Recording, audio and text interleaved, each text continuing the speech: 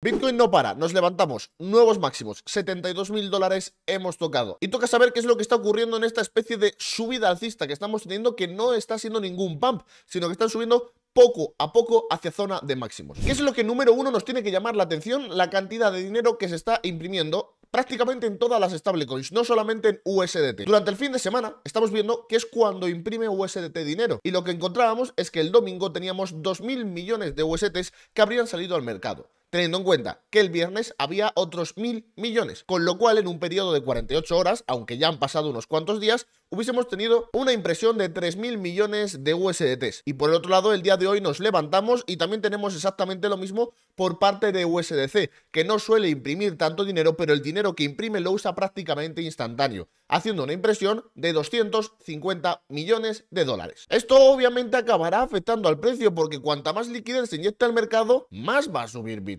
O al menos así es lo que se prevé porque de normal el dinero suele ser para comprar. ¿Qué es lo que observamos? Que a diferencia de cuando estábamos en los 50 mil dólares, que como podéis recordar, había algunas impresiones monetarias, que serían estos puntitos que estamos viendo, inyecciones dentro del mercado, que como vemos hay 5, 6 impresiones, que al final provocaban el pump que veamos después, porque lo que necesitamos para que el precio suba es nueva inyección de dinero, dinero fresco, dinero nuevo, porque la gasolina de los cortos no va a durar para siempre. Al final tenemos que subir también por el apartado de spot. Y en el apartado de spot, para seguir subiendo, tiene que inyectarse dinero. Bueno, pues pasa algo bastante interesante. Recordar esto, señores. Desde el 14 de febrero hasta el 24 de febrero, en 10 días, un aproximado de, como estamos viendo, 5 o 6 puntitos como mucho de impresiones monetarias, que aquí parece ser que no nos muestra de cuánto fue. ¿Y qué es lo que está pasando? Si nosotros nos vamos rápidamente a donde nos encontramos ahora, observar esta absoluta locura. Estamos hablando desde que se inició marzo, tenemos aquí el inicio de marzo, hasta donde nos encontramos ahora, que nos encontramos a 11 de marzo, también esos 10 días que habrían pasado, tenemos nada más y nada menos que 1, 2, 3, 4, 5, 6, 7, 8, 9, 10, 11, aquí hay 2, 13, 14, 15. Pero además las impresiones monetarias no están siendo de poco dinero, es que si nos acercamos ya a la última semana que habíamos tenido, a la que estaría ya, empezando por el 5 de marzo, tenemos 700 millones. Aquí tenemos una unión de 500 y 200 que no se ve. Aquí 500 y 600 más, etcétera, etcétera, etcétera. Y todo esto estaría pasando sin contar las impresiones que hemos montado. Porque estos puntitos que estáis viendo lo único que representan es cuando el market cap de las stablecoins sube. No solamente han inyectado, han creado las stablecoins, como hemos visto hace un segundo con las fotos que os he pasado, sino que aparte las han inyectado dentro del mercado, las han metido dentro. En estos momentos, ¿qué es lo que nos falta? Todo el dinero que ha ocurrido durante el fin de semana, todo el dinero que habría ocurrido viernes, sábado y domingo, que como hemos visto son 3.000 millones de USDT y 250 millones de USDC, aún no habrían ocurrido. No tenemos ese tipo de impresiones y por el otro lado, aquí tenemos el precio que ya habría tocado la zona de los 72.000 dólares, marcando unos nuevos máximos históricos. Lo que nos faltaría ahora es toda esta impresión monetaria que estamos viendo, toda esta inyección dentro del mercado es, ¿se están haciendo compras con ellas? ¿Estamos viendo de verdad compras dentro del mercado? Para eso nos vamos a este indicador que siempre tenemos todos los días, Coin Analyze, y vemos cómo se están comportando los deltas de spot. ¿Qué quiere decir esta línea de abajo que son los deltas de spot? Compras y ventas a mercado. Lo que estaría pasando para ejercer presión dentro del precio. ¿Y qué es lo que estamos observando por pantalla? Que tenemos prácticamente divergencias alcistas. En todo momento, en esta subida que hemos tenido, en el spot se ha estado comprando. Ese dinero que acabamos de ver que se está imprimiendo y que se está inyectando en el mercado, se está usando para comprar globalmente en todos los exchanges. ¿Y qué es lo que tenemos por el otro lado? Que mirad, cuando nosotros hacíamos los máximos, nos encontramos más o menos en esta zona. El precio ahora mismo está muy por encima. Y por el otro lado, aquí tenemos los máximos, es donde prácticamente habría estado antes de hacer los, el, bueno, el, último pump que hemos tenido en la hora anterior. Si estáis dando cuenta de cómo estaría funcionando la última subida que hemos tenido, podemos observar todos claramente una gran divergencia alcista. Quiere decir, mucha gente está comprando por el apartado de spot que está consiguiendo presionar el precio al alza. Y es que, están comprando spot, ya lo sabemos, tenemos todas las evidencias. Tenemos por un lado todas las inyecciones que se está viendo de stablecoins que están inyectándose para seguir y seguir y seguir comprando. Los deltas que acabamos de ver que nos lo confirman. Y por si acaso eso no era suficiente, nos vamos al indicador de acumulación de Glassnode, el cual nos muestra cuándo están acumulando los diferentes tipos de carteras. Y vemos algo bastante interesante, al igual que las anteriores. Observar por pantalla, azul significa que están acumulando, rojo significa que están distribuyendo, que están vendiendo.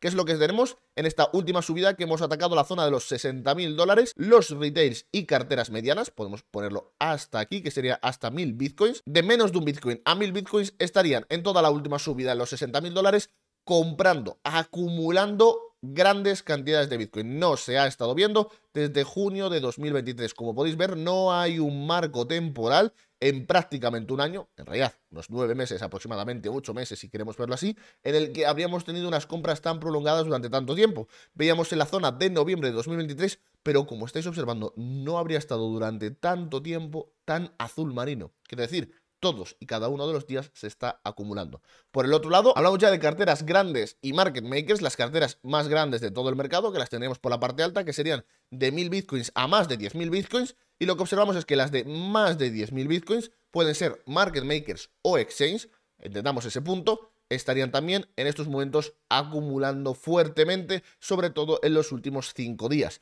Y por el otro lado, lo que estamos teniendo es que las carteras de 1000 a 10.000 bitcoins, que también son importantes, estarían relativamente acumulando, pero hacia la zona neutral. Desconfían un poco más, pero todas tienen algo en común, y es que algo de Bitcoin está llegando a sus carteras. Con ello, Bitcoin el día de hoy se convertía en el octavo activo más caro del mundo, el que más valor tiene, superando a la plata. Uno de esos activos contra la inflación. Ahora mismo solamente quedaría el otro activo contra la inflación, que sería el oro, que se encuentra en el primer puesto con estos momentos 14 trillones y medio de dólares de capitalización, que incluso Bitcoin estando en los 71 mil dólares tendría que hacer prácticamente un por 10 de capitalización para llegar a lo que vale el oro. Con todo esto teniéndolo en cuenta, tenemos que hablar de los futuros. Recordar esto que estamos viendo aquí en pantalla, la absurda cantidad de impresiones monetarias que estamos viendo no se ve de normal. En todos los anteriores PAMs nos podemos ir hacia con el indicador activado, vemos como hay puntitos, obviamente hay compras, en algunos momentos más importantes que otros. Mirar aquí cuando teníamos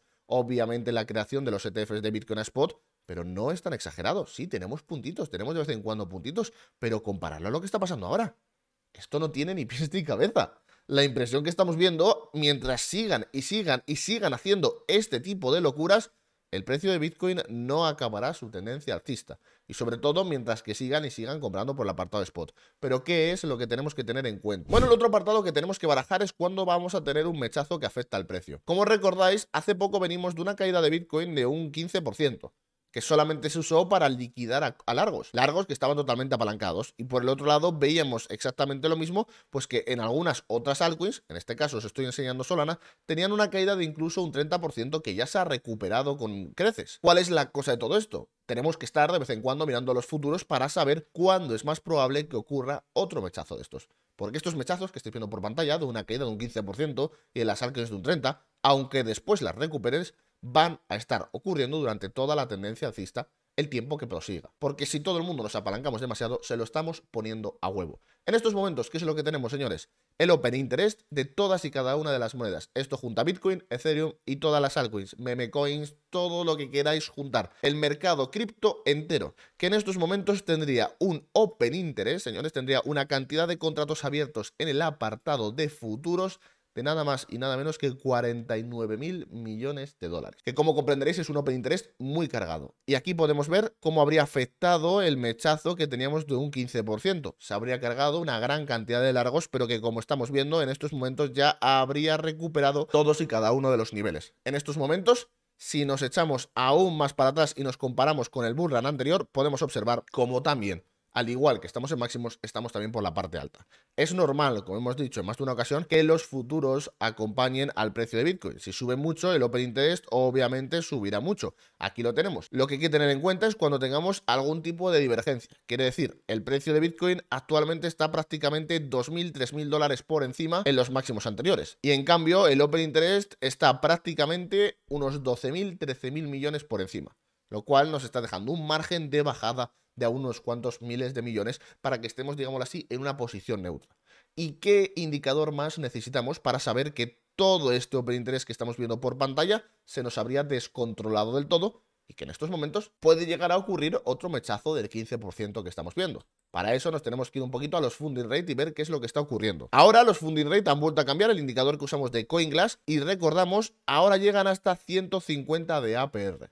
Antes solo llegaban primero hasta 50 lo subieron a 100 y ahora lo han vuelto a subir hasta 150, por lo cual podéis notar ahora mismo por pantalla cómo ya no estaba tan anaranjado como los anteriores vídeos que teníamos. Que si no nos seguís y no estáis viendo estos vídeos de normal, dejadme un pedazo de suscripción y activar la campanita para no perderos ninguno. Y lo que estamos viendo ahora mismo es que con estas últimas subidas a máximos de prácticamente las altcoins y Bitcoin, algunas altcoins ya empiezan a desmarcarse, ya empiezan a llegar a este color anaranjado y habría que empezar a tener cuidado. Todavía no estamos en el pleno apogeo, con lo cual podría llegar a esperar un par de semanas antes de que tengamos alguna caída como la que vimos de un 15-30% para limpiar los futuros. Pero recordar, el Open Interest, como acabamos de ver, aquí lo tenemos, está bastante por encima de la zona de máximos, con lo cual podríamos tener algún problema con todo ese apalancamiento. Y por el otro lado, aquí lo tenemos por pantalla, los funding rate ya empiezan a sobrecalentarse relativamente en este último día 11 de marzo. Importante, también se estaría sobrecalentando, que suele ser de los últimos en sobrecalentarse, Bitcoin y Ethereum. Aquí los tenemos, los primeros dos cubos de todos son Bitcoin y Ethereum y como recordamos, mirar aquí, todas las altcoins llevaban calentadas, llevaban con un gran apalancamiento desde el 28 de febrero aproximadamente y Bitcoin no se sobrecargó hasta prácticamente el 4 de marzo cuando tuvimos la caída. Con lo cual es raro tener ahora mismo a Bitcoin de nuevo otra vez calentado. Cuidado con este tipo de movimientos porque aún no hemos llegado al frenesí alcista que tuvimos hace un par de días, pero podemos asegurar que si seguimos subiendo durante esta semana, señores, vamos a volver a tener el mismo escenario y una liquidación de largos va a ser muy posible. Con todo esto tenemos la noticia de que MicroStrategies ha vuelto a comprar otros 12.000 bitcoins, 820 millones de dólares, haciendo otra de las técnicas que hace, que si no recordáis, MicroStrategies cada vez que acaba un cuatrimestre lo que hace es los beneficios que habría generado más lo que habrían invertido sus inversores, valga la redundancia, crean más acciones de la empresa MicroStrategies y lo usan para comprar Bitcoin. Lo único que hacen es retroalimentarse y apalancarse más para cada vez tener más Bitcoins comprados. Por eso se pueden permitir estas cantidades absurdas de dinero invertido en Bitcoin, 820 millones de dólares. Recordar que no lo están haciendo spot, sino que estarían retroalimentándose con acciones de su propia empresa. Aún así, 12.000 Bitcoins comprados. Con esto dicho, señores, tenemos máximos de Bitcoin en la zona de los 72.000 dólares. Vamos una subida en la que prácticamente no ha habido descanso desde la zona de los 38.500 cuando teníamos bueno, el inicio de los ETFs de Bitcoin. No ha habido ni un solo retroceso y seguimos y seguimos subiendo cada vez a más máximos.